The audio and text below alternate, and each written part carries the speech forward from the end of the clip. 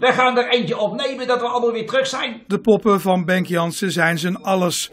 Al sinds begin jaren 70 zijn ze als familie voor hem. Die zijn, eh, ja, die zijn heel dierbaar. Dat, eh, dat zijn, eh, ja, zonder dat ben je geamputeerd. Zaterdagnacht werd de vrachtwagen met poppen en andere attributen gestolen. Maar de dieven bleken alleen geïnteresseerd in de vrachtwagen en dumpten de koffer met poppen bij een sloot. Een voorbijganger nam de koffer later mee naar huis.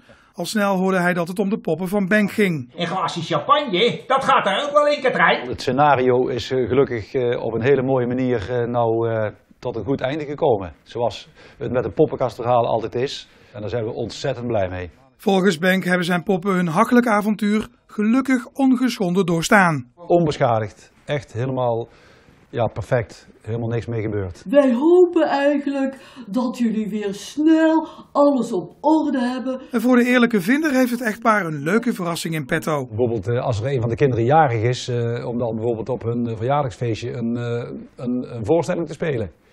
Dat, eh, daar zijn we wel voor in natuurlijk. Ja, en hopelijk dat ze ons voorlopig dan niet weg gaan halen, hè?